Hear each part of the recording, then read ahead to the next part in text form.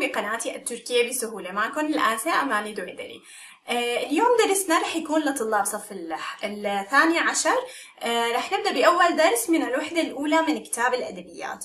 اليوم بهذا الفيديو رح نحكي عن ثلاث نقاط. أول نقطة رح نحكي عن علاقة الأدبيات بالفلسفة رح نحكي عن علاقة الأدبيات بالبسيكولوجي ورح نحكي عن اللغة كيف تطورت وشو طرأ عليها تغييرات. طيب خلونا آه، نشوف أول فقرة بدرسنا اللي هي أدبيات فلسفة إليشكسي يعني علاقة الأدبيات بالفلسفة شو ممكن تكون؟ عندي قلنا الكتاب اللي هو كتاب الوزارة güzel sanatların bir kolu olan edebiyat ile sistematik ve soyut bir düşünce disiplini olan felsefe arasında yakın bir ilişki vardır. Edebiyatın da felsefesinin de temeli insandır. Her ikisi de dile dayalıdır. عندي قلنا مختصر هذا الحكي كلياته أول شيء نحن بنعرف إنه الأدبيات هي فرع من فروع الفنون الجميلة يعني مثل الموسيقى المعمار الرسم الهياكل الأدب هدول كلهم فنون جميلة الأدبيات فرع من فروع الفنون الجميلة آه، الفلسفة على شو بتعتمد الفلسفة؟ بتعتمد على الفكر على التفكير. يعني حدا سؤال بيكون في سؤال معين فبنقعد بنفكر بهذا السؤال بجواب السؤال صح غلط كيف كيف صار هيك شو صار؟ هاي الفلسفة. يعني بتضل بتفكر بشيء معين. طيب شو النقطة اللي التقوا فيها الأدبيات والفلسفة؟ وين التقوا؟ التقوا الأدبيات والفلسفة إنسان إنسان موضوع الأدبيات الأساسي هو الإنسان موضوع الفلسفة الأساسي هو الإنسان ليش؟ لأنه الفلسفة إلنا تعتمد على التفكير التفكير اللي هو بيفكر فيه الإنسان ما هيك؟ على الدشنجة تمام؟ اثنيناتهم بيعتمدوا على الفكر. يعني الأدبيات وقت بيجي كاتب بيكتب كتاب معين آه، بيطرح أفكار بيطرح أسئلة بيطرح شغلات هي كلها ال ال الأساس تبعها الانسان طيب الفلسفه كمان آه، قلنا مثلا انه سؤال معين نقعد بنفكر فيه بفكر فيه الانسان فاثنيناتهم بيعتمدوا على الفكر اللي هو عائد للانسان فهون بيلتقوا بهاي النقطه طيب kimi zaman sanatçılar düşüncelerini edebi eserlerde ortaya koyduklarından felsefelerden yararlanırlar. Kimi zamanda felsefeyle uğraşanlar edebi metinlerden yararlanırlar. Yani عم بيقلنا بعض الأحيان الصناتشلار اللي هن الأدباء المفكرين الكتاب وقت بيكتبوا أفكارهم وقت بيكون عندهم أفكار أو في شي فكرة معينة شو بيعملوا؟ بيكتبوها بكتب يعني بيشكلوا آثار أدبية. هي الآثار الأدبية أحيانا تتأثر أو تستفاد تاخذ أفكارها من الفلسفة مثل الكتب الفلسفية. الكتب الفلسفية هي أدبيات ما هيك آه، فاذا هذا الكتاب الأدبي من وين من وين استفاد؟ من وين أخذ الأفكار؟ من الفلسفة. في بعض الأحيان kimi zamanda felsefeyle uğraşanlar yani الفلاسفة الفيلسوفيين edebi metinlerden yararlanırlar. بالعكس بيستفادوا من النصوص الأدبية. فإذا الأدبيات والفلسفة مع بعض في علاقة بيناتهم قريبة إن أساس هاي العلاقة هي الإنسان. طيب هاي كانت أول فقرة بدرسنا نجي على أدبيات psikoloji ilişkisi. Şu هي العلاقة بين الأدبيات وعلم النفس. Her ikisi de insan yaşamının, insanın iç dünyasını anlamayı çalışır. كمان علم النفس والادبيات العلاقه بيناتهم اثنيناتهم التمل تبعهم الاساس تبعهم هو الانسان ليش علم النفس شو بيعمل؟ بي بيحاول إنه آه، يشوف آه، الحياة الداخلية للإنسان أفكار الإنسان آه، حياته حالته النفسية. هي كلها بيعتمد عليها علم النفس. الأدبيات مثل ما قلنا ذاتا من قبل ودائما بنقول إنه هو موضوع الأساسي اللي هو الإنسان. فإذا بيلتقوا بهي النقطة. Psikoloji bilimi bazen bir edebi eserdeki kişinin ruhsal yaşamını erdelemeye çalışır. Bazen de sanatçılar psikolojiden yararlanarak eserlerini oluşturur. كمان هون في عنا علاقة عكسية بتقلنا انه احيانا علم النفس bir edebi eserdeki yani mesela عنا كاتب كتب كتاب معين. هذا ال- ال- الكاتب وقت بيكتب كتاب معين شو كيف بي بي بيكتب هذا الكتاب؟ ما بيكتبه حسب أفكار واحد تاني لا بيكون في عنده أفكار هو حابب يطرحها بهذا الكتاب ما هيك؟ طيب وهو عم يكتب هذا الكتاب أحيانا الكاتب بدون ما يحس بيكتب الأفكار وال- والمواضيع تبعه حسب حالته النفسية.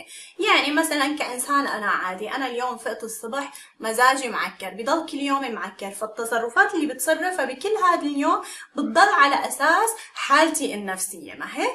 الكاتب نفس الشيء. نفس الشيء الكاتب. ف آه، فعلم النفس أحيانا شو بيعمل؟ بيحلل حالة النفسية للكاتب من خلال أثره. وأحيانا العكس صحيح آه، شو عم بيقلنا؟ صنات شلار أحيانا الكتباء ال- الكتاب الأدباء بيستفادوا من علم النفس تمام؟ يعني علاقة طرديه عكسية آه، طرديه يمكن بنقول بالعربي أو علاقة عكسية. هذا بيستفاد من هذا وهذا بيستفاد من هذا. الفلسفة والبسيكولوجي والأدبيات الأساس تبعهم الموضوع الأساسي تبعهم هو الإنسان. تمام؟ فهيك بتكون شفنا شو العلاقة بين الأدبيات والفلسفة وبين علم النفس. طيب نجي للفقرة الثانية بدرسنا واللي هي هلا عنا الدين. اللي هي اللغة آه شو طرأ عليها التغييرات؟ كيف تغيرت؟ بشو بتتأثر اللغة؟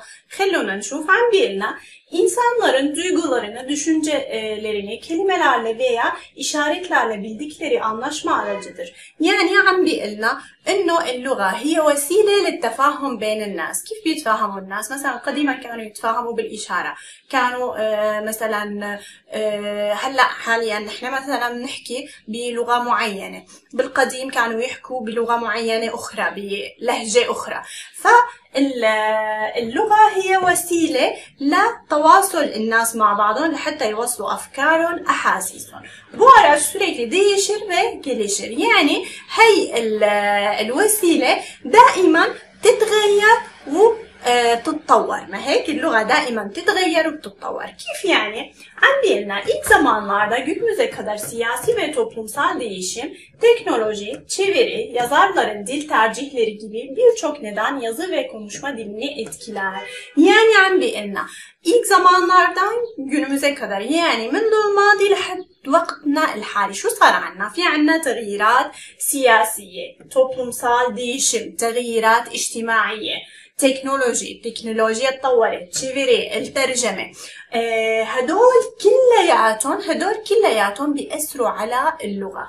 بتأثر منهم اللغة أو بتتغير منهم كيف يعني مثلا siyasi değişim تغييرات سياسية بالقديم مثلا ال- الأتراك قديما مثلا كلمة طيارة اللي هي عنا بالعربي كانوا يستخدموها يقولوا tayyare. تمام يستخدموها للطيارة لكن سياسي değişim تغييرات سياسية. لما صار عصر الجمهورية صار في تغيير سياسي ما هيك؟ هون آه، رجحوا إنه خلص ما عاد نستخدم الكلمات الأجنبية لازم نستخدم كلمات خاصة فينا. فغيروا كلمة طيارة صار يستخدموا بدالها شو؟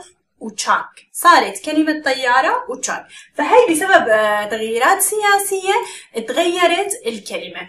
مثلا çeviri çeviri مثلا عندهم الآثار المترجمة. الآثار المترجمة كمان بتأ- بتأثر على اللغة. مثل مثلا في آه، أول آه، يعني من قبل الأتراك كانوا كتير متأثرين بالفرنسيين. كانوا كتير الآثار المترجمة تبعهم يعني الآثار الفرنسية يترجموها للتركية. فكتير كلمات فرنسية ضلت موجودة باللغة التركية صارت تستخدم باللغة التركية. آه، مثلا teknoloji teknoloji مثلا من زمان كان في شيء اسمه تلفزيون؟ لا. كان في شيء اسمه راديو؟ لا. ما كان في هدول القصص. فلما تطورت التكنولوجيا أو طلعوا هدول القصص صار في عنا كلمات إضافية للغة اللي هي تلفزيون راديو وهكذا. والتليفون مثلا.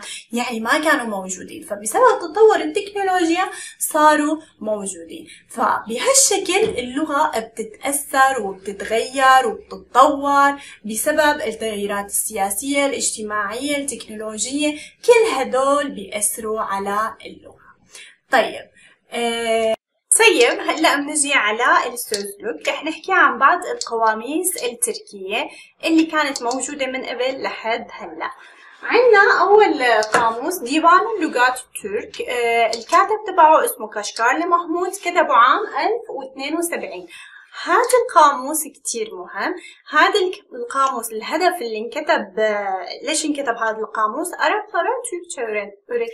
يعني لتعليم اللغة التركية للعرب. هذا القاموس انكتب لتعليم اللغة التركية للعرب.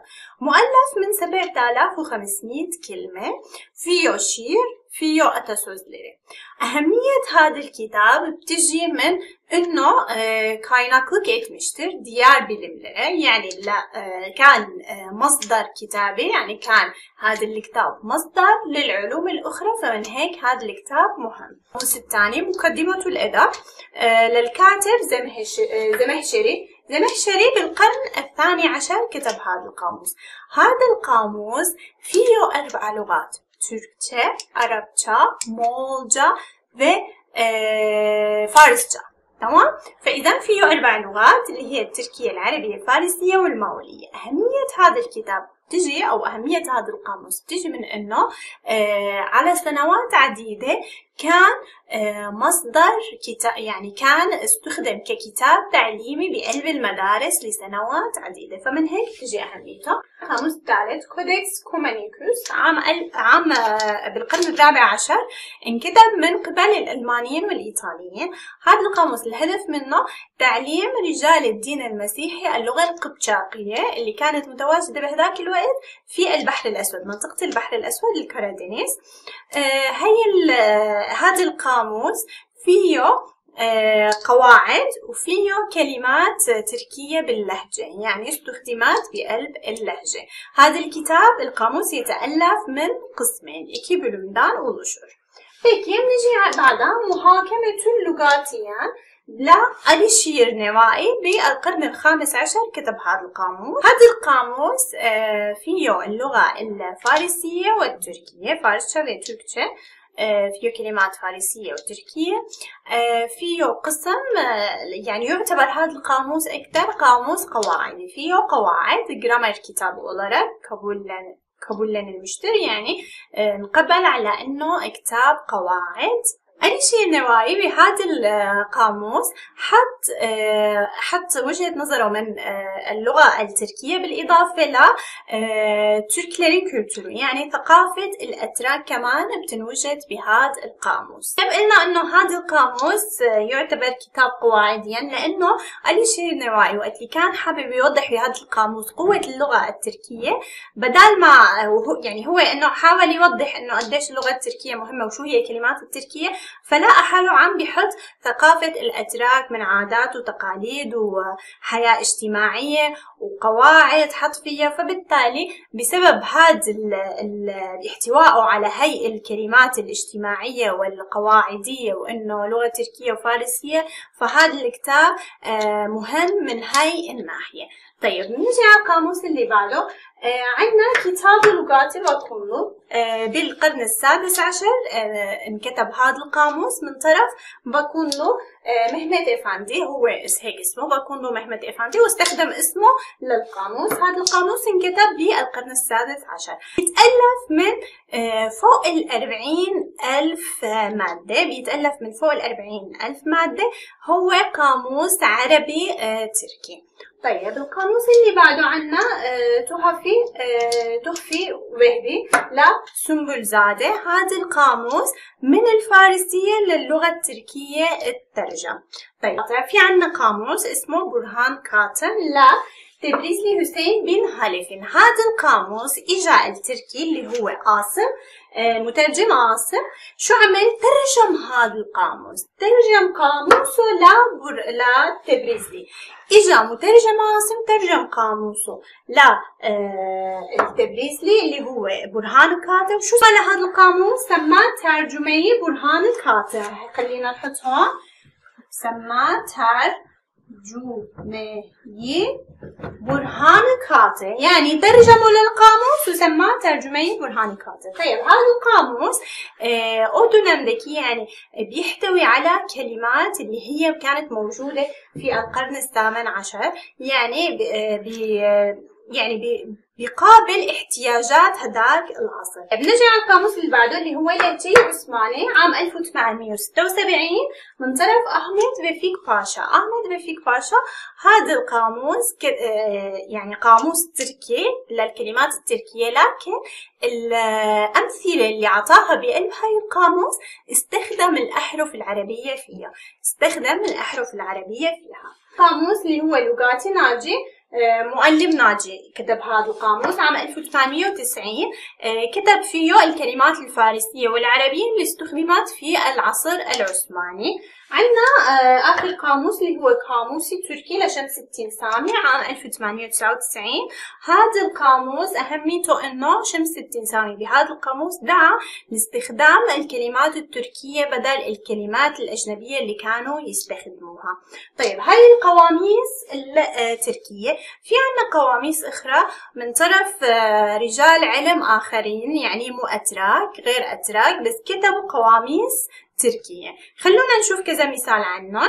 إذا قلنا عنا قواميس كتبوها آه، أشخاص ما أتراك. عنا قاموسين أول قاموس عنا فريدريك فيلهام رادلوف. اسم القاموس تبعه رادلوف. Lügatı عام 1893 هذا القاموس مؤلف من أربع آه، جلد من أربعة جلد. وكمان فيه أكثر من 40 لهجة من كلمات 40 لهجة باللغة التركية. ثاني قاموس عنا جيمس فيلهام ريد هاوس ريد هاوس Sözlüğü 1891 ترجم من اللغة التركية إلى اللغة الإنجليزية. طيب كلياتنا بنعرف إنه عام 1928 صار في حركة انقلاب آه، اللغة الألفبي يعني بطلوا يستخدموا الأحرف العربية صاروا يستخدموا الأحرف اللاتينية اللي هي الأجنبية. وبلشوا يستخدموا الكلمات التركية. عنا أهم قاموس عام 1930 اسمه Yeni Türk Lügatı. بهذا القاموس كل شيء كلمات أجنبية صاروا يستخدموا بدالها الكلمات التركية بأحرف لاتينية وليست أحرف عربية. طيب عندنا كمان آه ثلاث قواميس ثانيين هن آه ما كتير مهمين بس خلونا نذكرهم Tarama Sözlüğü من آه 8 جلد Derleme Sözlüğü من 18 جلد و Eski Uygur Türkçesi لأحمد جعفر أولو. هيك بيكون حكينا عن القواميس حكينا عن آه عن كل شيء بيخص الوحدة الأولى. هيك بيكون خلص درسنا لليوم.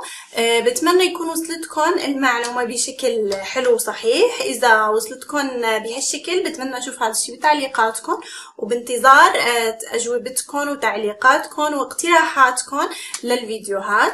آه لا تنسوا الاشتراك بالقناة وتفعيل زر الجرس لحتى يوصلكم كل جديد. وموفقين جميعا. Görüşürüz.